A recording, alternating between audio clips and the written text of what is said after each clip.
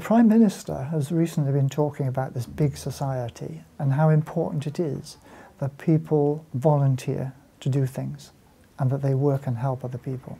And Filwood Hope's been doing that for nearly 15 years. Some of the folk we've got here still working with us were here before the centre was opened and only in the planning stages. People don't do that amount of work. They don't, they're not as faithful to a project as that unless they believe fully in what it's doing and unless they get some satisfaction out of doing it. Um, we ask people who are thinking of volunteering to come in here for a few weeks, see what it's like.